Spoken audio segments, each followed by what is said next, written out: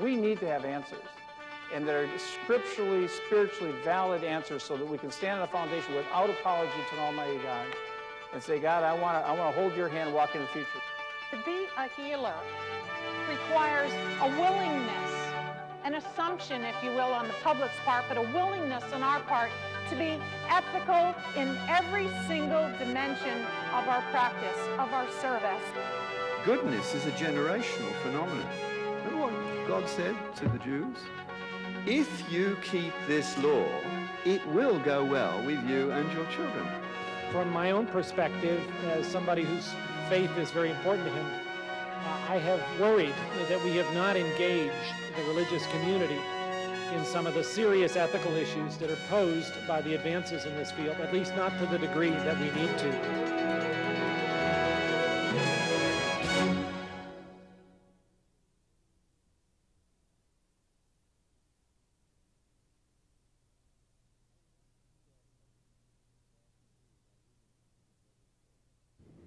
I would like to start by, as I often do, by reading my favorite prayer.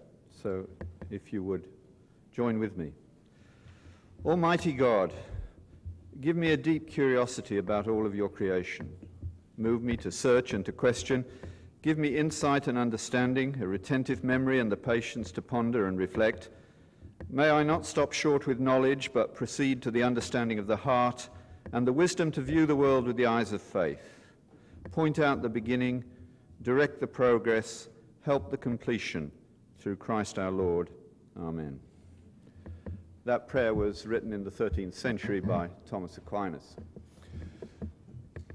It expresses so much in so few words that why should I attempt to speak to my Maker on those issues in words that are less eloquent than those? And certainly in talking about multiculturalism, uh, one needs a lot of help, especially in the modern secular university. Uh, for those of you who haven't uh, realized, on page 85 there is an outline of what I'm supposed to be saying. Uh, given my usual propensities, it's quite likely that we will end up saying other things, but we'll try and stick to that protocol, especially since I only have half an hour. The first point is absolutely important for physicians. You have never seen and will never see a multicultural patient. It's one of the reasons that bioethicists in general are not much help to us because they believe in multiculturalism. They don't do medicine. Your job and my job when we're seeing patients, I'm not seeing patients these days, but when I was seeing patients, is to elicit from the patient what their particular understanding of the world is, what their particular culture is, and make what use of it I can. To treat a humanist as though he were a Christian would be the height of insensitivity and would be abusing my position, but the reverse is equally true. To treat a Christian as though he's a humanist is an insult. And it's also very bad medicine. Uh, we deal with individuals, and each of them inhabit a particular story thicker or thinner, as the case may be. We've already last night had some beginnings of the discussion about pluralism and multiculturalism, and it can be nuanced in many different ways. It's true that we have many cultures represented, but not as many as we think, and neither to the degree that we think. The problem, primarily in my view, is that the dominant culture is getting thinner and thinner and thinner. It's still there, in a, insofar as your patients have views about the nature of good and evil, which is at the heart of ethics, they will still be Judeo Christian views. In uh, Canada, we still collect that data. Uh, I gather you don't because of various sensitivities about church and state.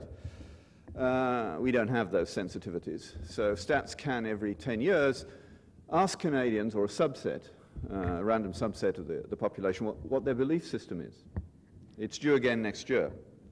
So the last data we have is from 1991, when there were rather less Canadians than there are Californians. But uh, at that time, Canadians clearly did a very interesting thing. Being very obedient, we fill in forms from the government, but uh, we filled it in backwards, I'm quite sure.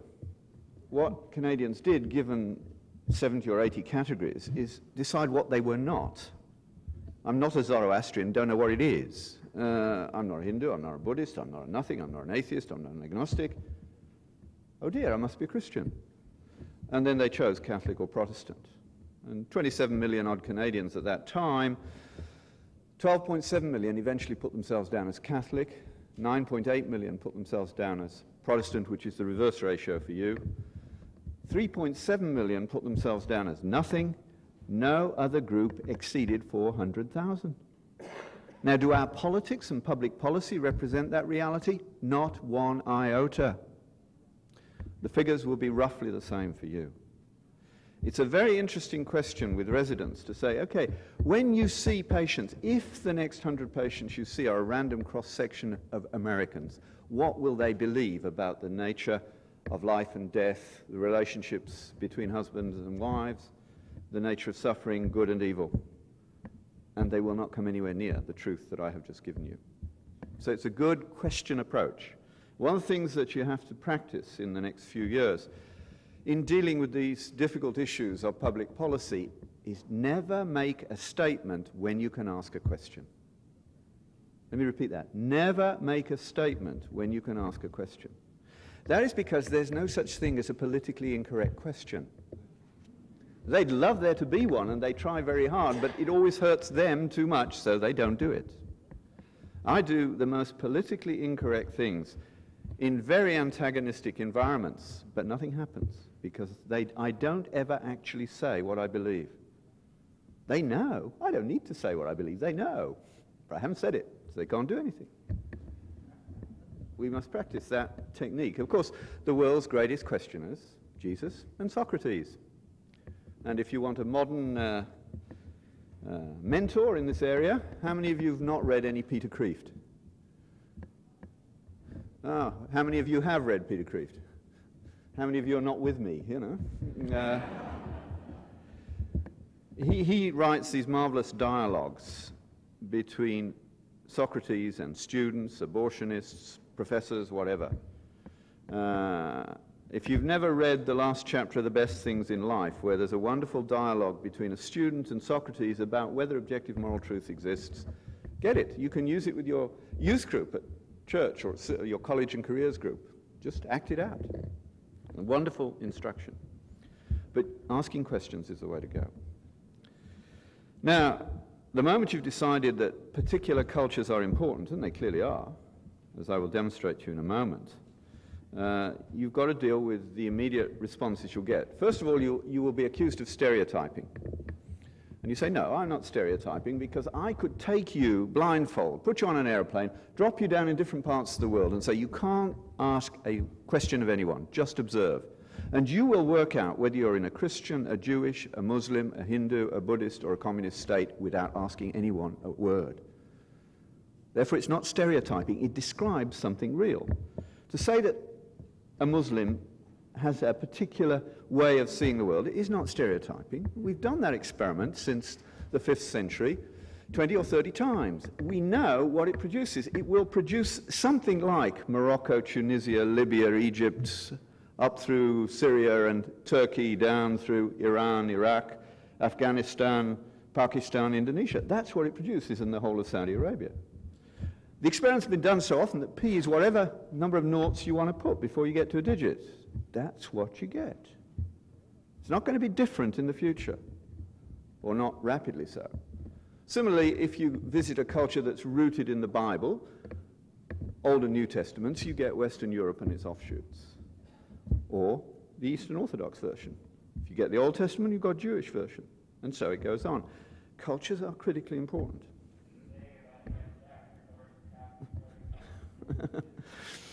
One of the uh, the things that, that we need uh, to, to deal with, with very clearly here is the, the issue of how we talk about these things, how we unpack them. And there, there are, of course, key questions.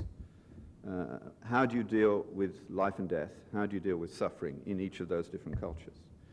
We also need to have some shortcut ways of thinking about it. And basically, there's only half a dozen cultural views you need to deal with, and the rest are subsets of them. The way I divide it is say the biggest religion in the world, if you don't have chronological snobbery is paganism, in which the world is dominated by evil spirits, or in general evil spirits, because our experience of the world, certainly up until relatively recently, was that most of our children died before maturity, crops failed at random. Believing in a God of love under those circumstances is extremely difficult. But believing in evil spirits is very easy, and it provides the explanatory power for life, which is what worldviews and religions are about. It has to explain life and death and meaning. And it does that very well. But it provides no basis for medicine. As was said in the introduction, my, my background is in pediatrics and biochemistry, and uh, my clinical interest has been in severe malnutrition. So I have been very interested in the question of why there has never been a successful nutrition education program in sub-Saharan Africa. If you put into the evaluation requirement that there be no expatriate input for three years before you evaluate. Now, I was involved with developing the, the materials to, to deal with malnutrition in the 70s, and by the late 70s, we'd got to the stage where we went through 110 pound two year olds and we didn't lose one of them. And we doubled their weight on average in 40 days. I mean, it's one of the wonders of the world. To, it's certainly one of the, the greatest joys of medicine is to take a child as near death as you can get and return it to a normal child in 40 days. Now, we thought that that would lead to a reduction in malnutrition. It hasn't changed the prevalence in sub-Saharan Africa in 20 years. So in the late 80s, I had the, the joy of going back to try and understand this. And gradually I began to understand that the animistic worldview explains what life is like in Africa very effectively. But if you believe in evil spirits, science becomes incomprehensible. Because at the root of science is inductive reasoning, which says that experiment done in Chicago will give the same results as an experiment done in London. But if they're different evil spirits, why should it? It's an unthinkable thought. So I could actually train Africans to do what I wanted when I was there. And then I would go away for nine months, come back nine months later, and we'd be almost back to square one.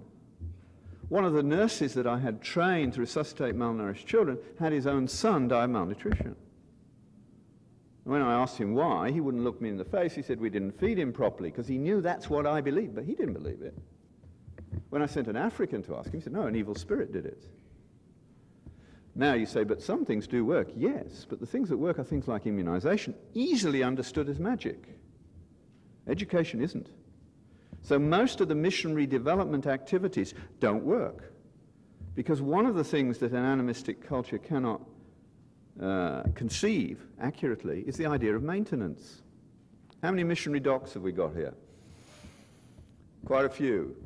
How long does a machine last in African hands as opposed to us. You know, I can go within walking distance of the hospital we use as a base and find at least 25 mills that well-intentioned North Americans have brought out there. They see women pained, pounding for eight hours a day and say, that's ridiculous. Next time they come, they bring a little uh, mill with a little engine and everybody has great celebration. It works for less than a year. Because maintenance is necessary. We think of it as human. No, it's a gift of our culture. So, animistic paganism is a big one, and we're heading back towards it. That's the problem. Gods and goddesses are beginning to re inhabit the Western world. You have people like Camille Paglia at Harvard who says, I'm a pagan, I like it that way. Some, some nights I want sex with a woman and sometimes with a man. She teaches at Harvard or Yale, I can't, one of those places.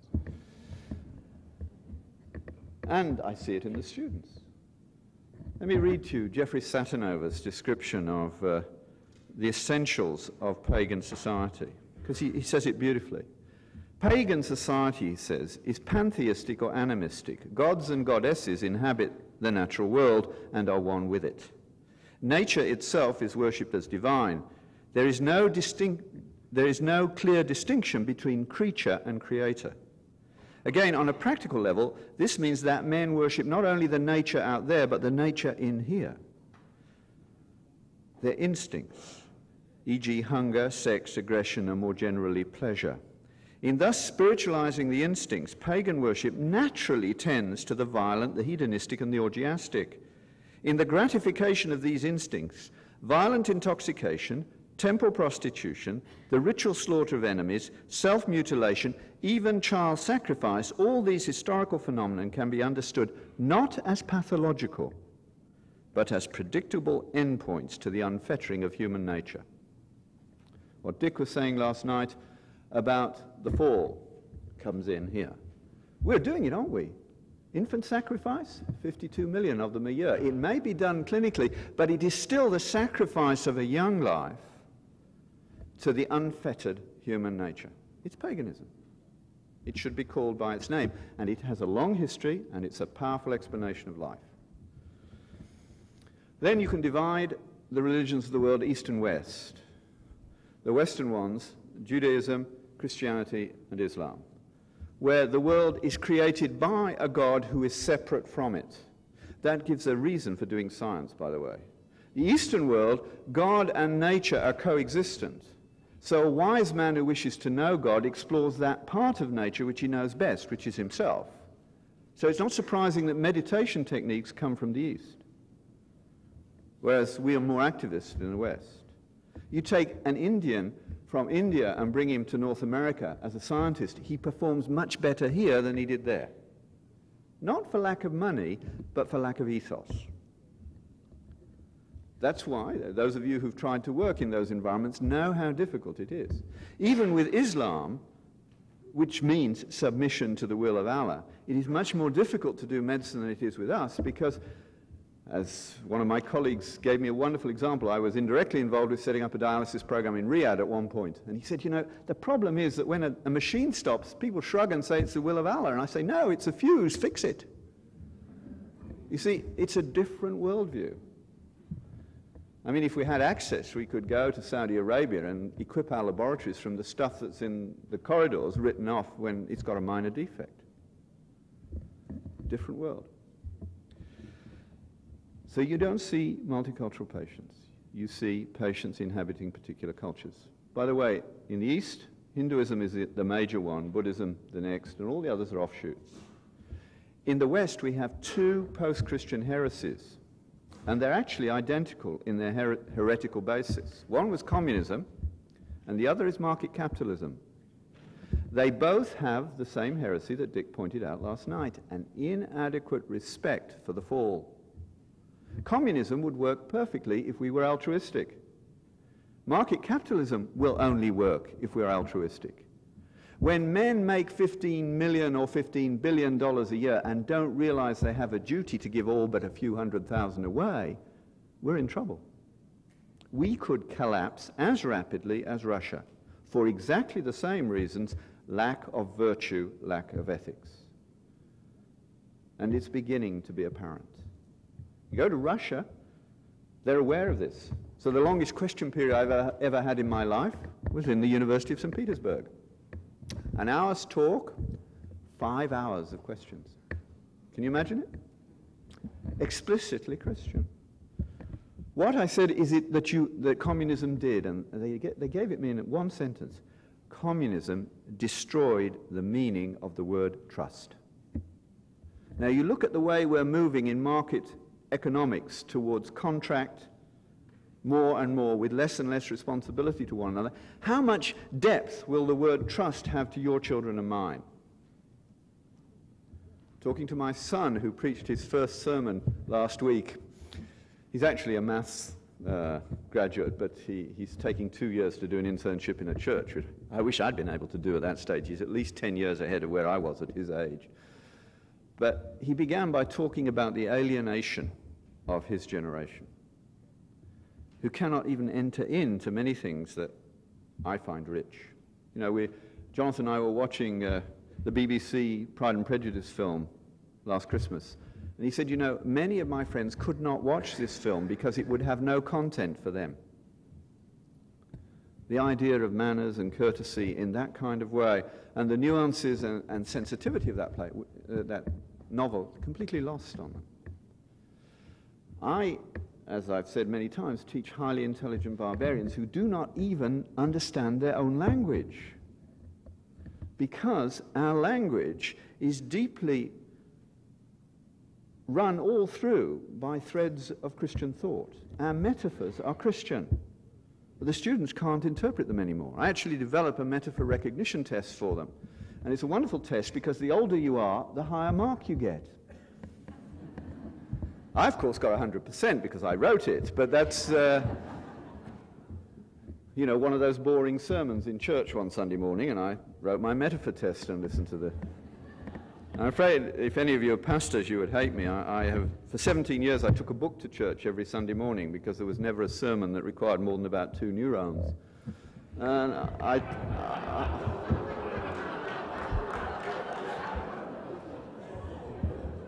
I told the pastor that it wasn't rudeness, it was just that I, it was better than going to sleep, and I would tell him what he'd said in his sermon and what he could have said afterwards if he was interested. Uh, it, it, sort of stirred him up a little bit, which, which helped. But it's true. It's true. We accept a level of intellectual commitment in our faith which is trivial compared with what we accept in our work. And yet we say our work is of only temporal significance and our faith of eternal significance. The evidence for that, looking from the outside, if I were a Martian, is negligible. That needs to change. We thought this summer that we would run a combined CMDS Augustine College education program for physicians, and it was advertised on Doctor's Digest, but we didn't get enough takers to run. 13,000 American physicians. We only got two who actually wanted to come and be educated. Uh, I hope that's going to change next year. We, we won't give up. We'll try again. We, we want to run a program in which we teach you the history of ideas from a Judeo-Christian point of view, as though the Western world is the product of Jewish thought and Greek thought as modified by the church in modules, showing you how art and architecture and literature and science and math and language all interdigitate, doing it block by block so that if you came 10 times or so, you could cover the whole period from ancient to modern. We thought that would be very attractive. Apparently, it's not as attractive as we thought it would be. That's sad. That's sad. Nothing would be at a lower standard than what you had from Cardinal George this morning. So you work hard for a week. So, if that's the background, we have patients coming from these different cultures, and the two post Christian ones that are dominant in our world now. And this gradually thinning Christian story. See, evangelicals think that when you're converted, you are good. No. When you are converted, you are redeemed. Goodness is a generational phenomenon. Remember what God said to the Jews? If you keep this law, it will go well with you and your children. This is consequential. What we do works out in what we get in our society. For society, actually, virtue is more important than redemption for, in the short term. For you as an individual, obviously, redemption is more important than virtue. But redemption that doesn't lead to virtue is dead, according to James. And virtue comes from inhabiting an informative story. And it's important which one you get. You inhabit a Muslim story, you get a Muslim society. Now, you can illustrate that. Many of you will recognize uh, this phenomenon. Uh, not so very long ago, I gave a lecture in a Mennonite community in northern Manitoba. And the doctor who invited me there took me to his home afterwards. I gave my talk and they raised their money. That, that was not the interesting thing for me. But we drove into his house and he left the, the car in the carport, he did, in the garage. He didn't lock the door. He left the ignition key in the car. He didn't lock his house door. I said, Is this how you live up here? I said, Isn't leaving the ignition key in the car going a bit far? He said, Oh, you never know who may need it. You see, in that Mennonite community, they don't listen to the government. They teach the Ten Commandments at home, in school, in church. Kids growing up there enculturate the Ten Commandments. Our community knows thou shalt not steal. And if you do, everybody says, Why would you do that? We don't do that. The result is their policing costs are minimal. Yeah, I went to South Africa last summer and saw the technological solution to this problem. They have an epidemic of theft there. Uh, cars are stolen and everything's stolen. And we were driving from one place to another, and as we got out of a rather nice car, the guy hit a little button, and the front of his stereo came off, and he put it in his pocket. The controls were in a wafer thin layer. The technological solution to the problem of human nature not a patch on the theological solution. Works. Nobody steals a, a stereo with no controls. but That's not the way it's meant to be. But that's where we're headed. You can see it. You didn't, when you grew up, many of you, lock your doors. Now you have devices to protect you. In due course, you will live in prison to keep the thieves outside. Go to the developing world, you'll see it. Cultures matter. Now, how did we then get to the idea that all cultures are equal? I mean, it's patently absurd. Let me just tell you one story which will demonstrate that there's not a single multiculturalist in this room. Uh, many of you have heard me tell this story before, but this is for those who haven't. It's not. Use it. I, I tell you, it, it stuns your colleagues. Because lots of them think that multiculturalism is a sensitive, tolerant way to live. And I say, there's no doctor worthy of the name who's a multiculturalist. And I only have to tell you one true story. And it's this. So a few years ago, I saw a child with a septic knee. The only thing that could be done was an amputation. So we told the parents that, and they said, um, we need to think about it. I said, not very long. This child's septic. She will be dead. Within half an hour, they said, no, we will take her home to die, and they proceeded to do that. And I was the only person who was horrified, because this was in Africa. The missionary surgeon who would have done the amputation was busy, he was gone, and I was left with the nurses who clearly were not disturbed. The decision that had been made was culturally acceptable and honorable. I said to them, Do you mind if I talk to you because I'm upset? He said, No. So I said, what would, providentially I asked the right question. I said, what would these parents have done if this had been a little boy? No, you know the answer. Oh, they said, they would have done the amputation. Said, why would you treat little girls and little boys differently? And they said, in our culture, it is a woman's job to till the fields, fetch the water, cook the food, and bear the children. A woman with one leg cannot do those things, so she will have a life not worth living. Any of you Still multiculturalists? Raise your hand. Now, I used to say no one ever had, until about 18 months ago in Oregon. Where else? A female medical student raised her hand and said she would honor the cultural story of those parents. Now, this is where objective moral truth starts, the rubber starts to hit the road. You see, you're all arrogant enough to say we know better. And of course, you don't need ethicists to tell you what is right, do you? You just need to be confronted with the, with the options to know. What we have got from our cultural history about the relative value of little boys and little girls is gift. It's gift that comes from the gospel story explicated over 2,000 years. Other cultures have things to teach us. Those Africans will not believe that we in North America have homeless working poor. They say, surely a rich nation like yours can help one another build a house. Now, who's got that one right? They have, haven't they? It is an obscenity to have $50,000 cars running around the streets and homeless poor. Eh, we will be judged for that. We need to do something about it. Thank God some Christians are. But like abortion and other things, we are reticent. We have been intimidated by the culture and we have to get over that. So multiculturalism is not true. It is not difficult to decide what is right. There are all sorts of things in our society that we don't accept. There are things we accept now that we didn't before. Does that mean it's all relative, which is what they teach in the anthropology department? Because, of course, this leads into relativism. No, it doesn't mean that it's all relative the way to talk about it, I think, is to talk about cultural stories. There is such a thing as objective moral truth. I don't claim to know it on every occasion, but it clearly exists. It's easy to demonstrate. Every one of you in this room has had the experience of having a lie about yourself come back to you. Hopefully, you've also had good, true things come back. In other words, you've experienced subjectively an objectively true statement and an objectively false one. So, our moral universe has got dimensions falsehood to truth, love to hatred, honor, to dishonor, fidelity, infidelity, justice, injustice. That, that's our moral universe. It has been like that since day one. When you get to truth, that's the end of the line. There's nothing beyond truth in that direction. When you get to falsehood, you don't get any worse. It, that's where it stops. The trouble is that ideas of truth and justice and love and fidelity are big ideas. I mean, we've been writing about them since writing was invented, and we're still struggling with them. So you can't work from first principles every day. What you do is you inhabit a story. The story gives you shorthands. It, it tells you how to behave.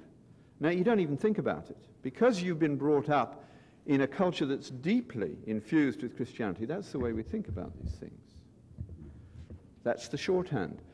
All societies, for instance, have an honor code. You can't have a society without an honor code. Even we say thieves have honor codes. They're just different codes. If your business went bankrupt in North America 50 years ago, what did you do? Well, you sold everything you had, reduced yourself to poverty, paid as many debts as you can, and then somebody came up and said, That was tough. Here's a hundred bucks. Get started again. That was honorable. What do you do now? You employ a lawyer to see that you pay as few debts as possible, and then you go and ruin another company. And that's honorable because we allow it. What did you do in Japan? You committed suicide. You see, honor exists in each place. The cultural story used to explain honor is different. The same with love and trust and justice. It's richer or poorer depending upon the story. Because you see, a story is infinitely nuanced. You read it again and again, and each time you get something different out of it. The gospel story hasn't changed since it happened, but our understanding of it is constantly changing. Doctrine is a human creation, guided hopefully by the Holy Spirit, but clearly we change.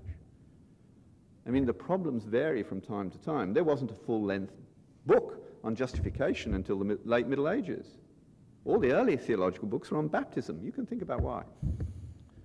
The, the, the, the focus of the society changes with time. Now, unfortunately, we forgot that. And sadly, it was Christians who were responsible for the undue elevation of tolerance in our society. You see, following the Reformation, Catholics and Protestants thought the way to convince the other side was to chop off their heads or beat them blue, you know. We were pretty violent. The Thirty Years' War was one of the worst wars the world ever saw. And it was humanists who stopped it. They said, since you guys can't agree, we will take religion out of the public square and we will tolerate different religious understandings. Now, what they didn't take out of the public square, of course, was all the ideas of virtue that came from religion. They kept those, but they, they ceased paying interest on them. Our governments and our scholars are way behind on their payments for all the things they honor, like ideas of justice and truth and all the rest. It all got suppressed. So that in your society, you even had the framers of your Declaration of Independence having their ideas turned on their head by the Supreme Court. They said church and state must be separated to keep the state from interfering with the church. Now it means the church can't say anything to the state. It's the church's job to interfere with the state. We have no armies. We're not going to do anything violent. We're just going to destroy them, that's all.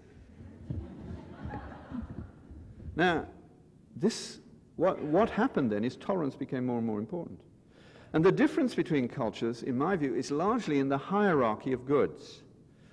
We all agree about similar things. If you look at these cultures, they all agree that killing is wrong, but they differ about where you draw the line.